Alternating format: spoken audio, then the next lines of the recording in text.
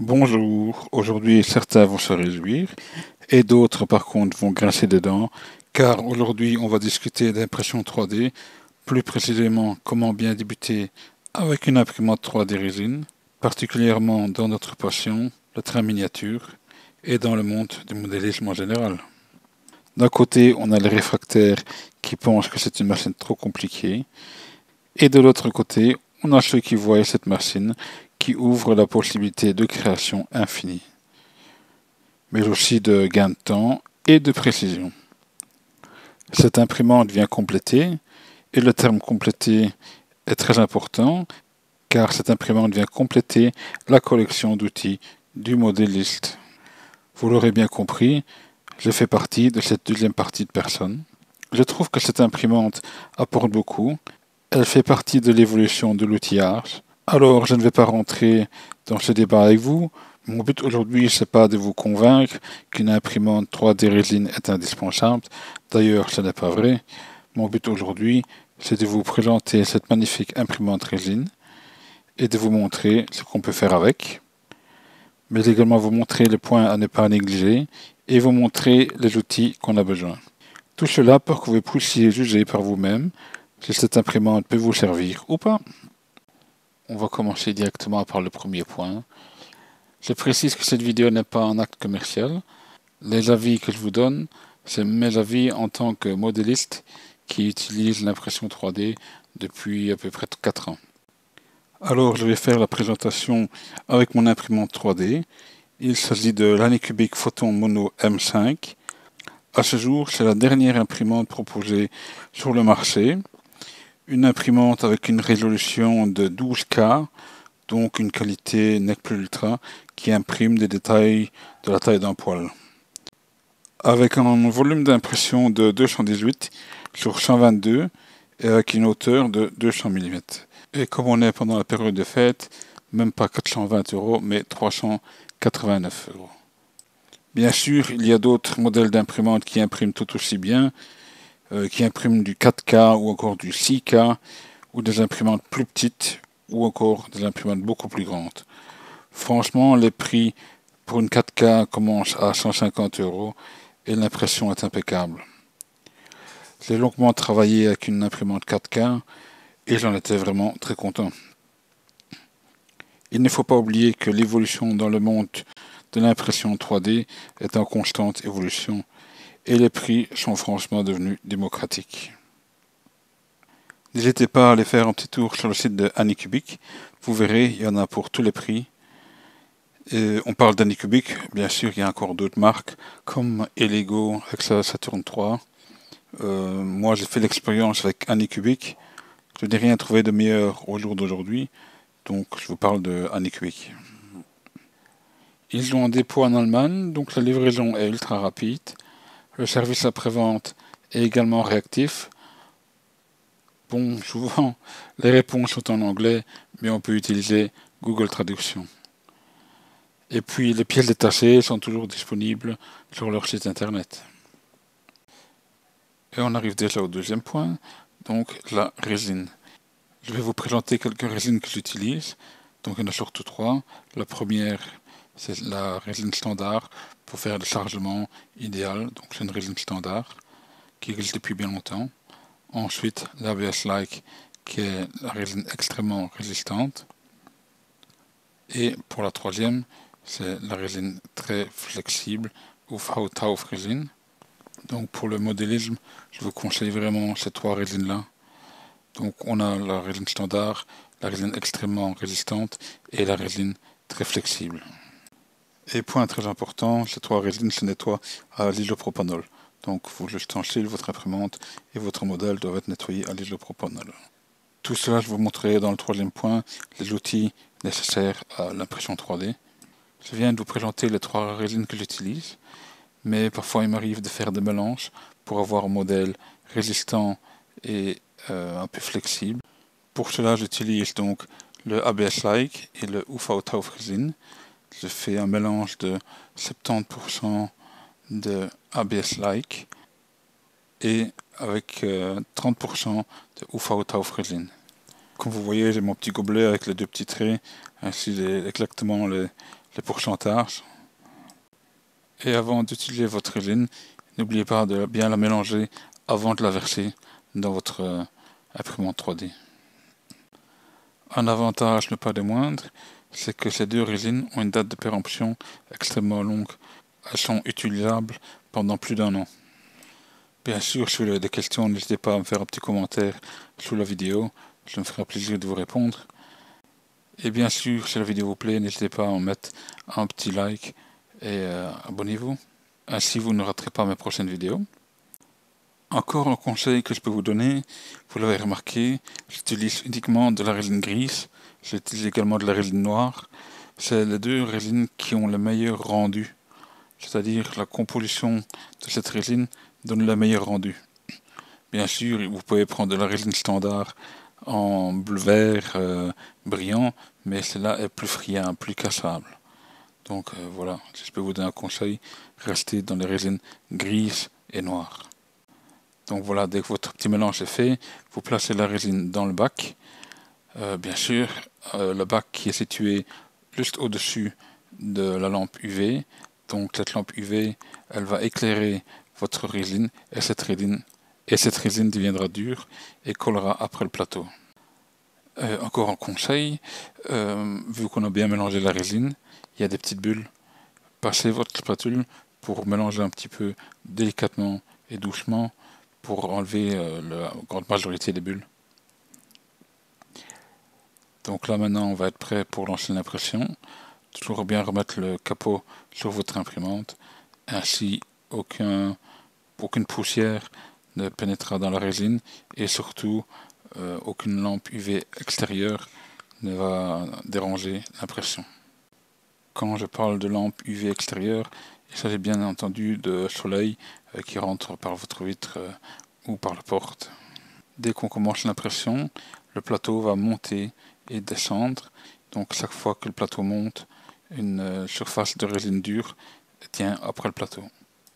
Et juste pour vous montrer, donc quand le bac est vide, donc dès que la lampe UV est claire, ça ressemble à ça. Bien sûr, là c'est vraiment un exemple pour vous montrer sans résine, sans rien. Donc voilà. Alors durant plusieurs années, il existait une seule type de résine, c'était la résine, on va l'appeler type standard, qui se nettoie à l'isopropanol. Et depuis quelques temps, il y a pas mal de nouvelles résines qui sont arrivées, de très bonnes résines, comme ici qui se lave à l'eau, donc plus de besoin d'hydropropanol, qui agresse quand même pas mal les, euh, doigts et tout ça, et qui sont aussi pas mal. Oui, donc après la BS que vous en avez parlé juste maintenant, donc euh, juste un peu pour vous montrer ce que le site en dit. Et ensuite on a la Ufota Frelin, celle que je voulais également montrer, qui est très flexible. Donc voici un petit exemple. Donc même si on plie la rambarde, la main courante dans ce cas, rien ne se casse. Comme la BS Like tout à l'heure, c'est une résine vraiment intéressante pour le modélisme. Euh, vous avez tellement d'autres résines. Ici la High Speed, pour ceux qui ont des imprimantes qui font du High Speed, donc vitesse rapide. Ensuite, vous avez bien sûr les réservoirs pour remplir, beaucoup moins cher. Vous avez ici de la résine transparente, donc idéale pour faire des fenêtres, faire des abris de gare, des abris de bus. Comme vous voyez ici, donc euh, la résine devient comme du cristal, elle devient transparent. Donc euh, voilà, idéal aussi pour le modélisme. Et ici, vous voyez encore même euh, le tableau qui est sur leur site de configuration à, régler pour cette résine. Donc comme vous voyez, c'est rien de bien compliqué. Bon, le point résine a pris pas mal de temps. ouais, bon, en même temps, la résine dans une imprimante résine, c'est le point le plus important. On continue directement au prochain point. Et le point suivant, les outils et accessoires qu'on a besoin pour l'impression 3D résine. Alors, l'impression résine a besoin de beaucoup d'accessoires. Il ne suffit pas d'acheter l'imprimante et la résine et c'est réglé. Il y a le traitement et le nettoyage du modèle imprimé. Euh, il faut prendre vraiment cela en compte car tout cela a un coût. Pas énorme, mais quand même. Alors on commence directement avec le premier produit qu'on aura le plus besoin, c'est l'alcool hydropropanol à 99%. On a un prix d'à peu près 17 euros le litre. Ensuite, un petit pot pour nettoyer le modèle. Donc on met l'alcool hydropropanol dedans. Ici, c'est un petit pot avec une sorte de petite passoire à l'intérieur. Donc idéal euh, pour bien nettoyer. On met le modèle dans la petite passoire. On tourne la passoire de droite à gauche pour faire un petit tourbillon. Ça fonctionne très bien. Il est sur Amazon pour quelques euros. Ensuite, le papier essuie-tout ou le sopalin.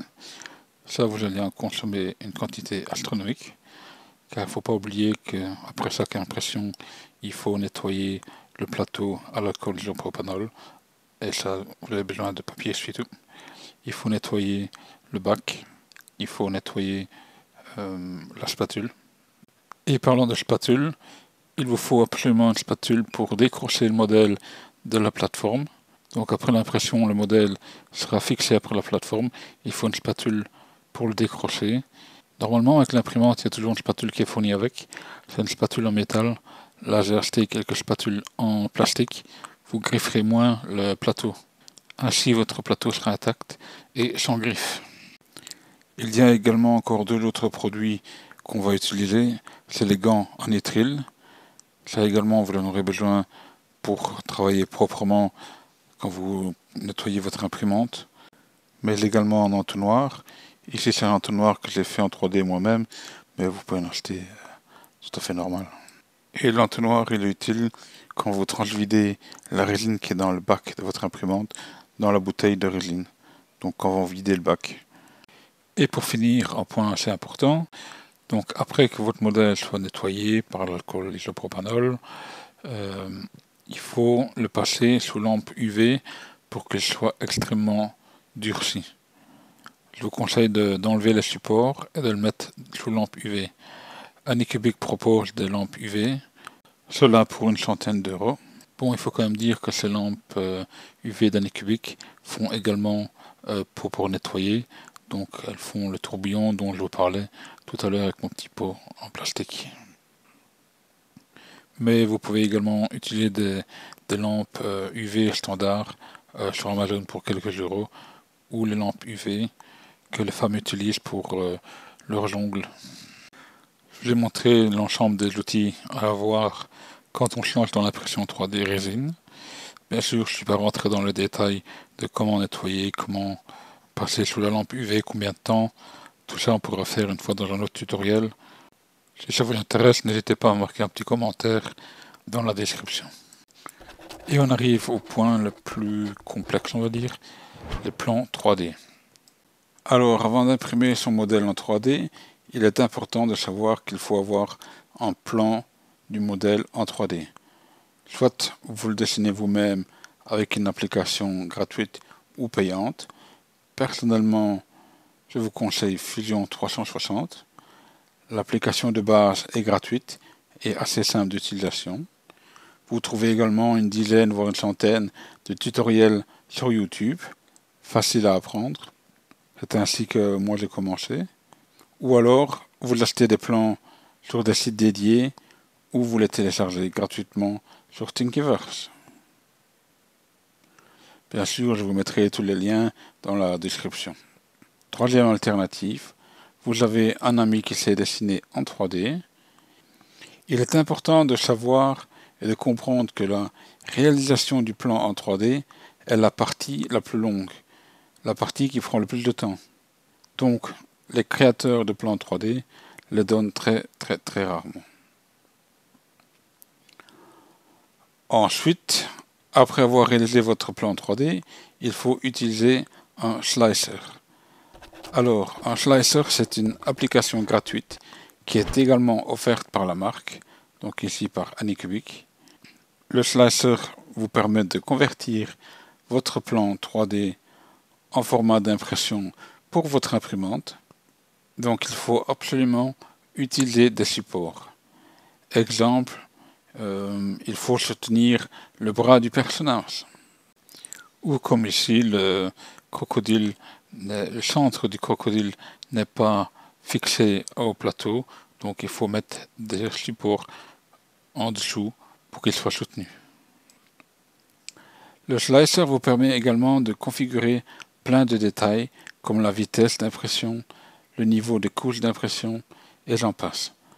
Je me répète, mais ce tutoriel est vraiment fait pour ceux qui veulent débuter dans l'impression 3D résine, donc on va pas rentrer trop dans les détails.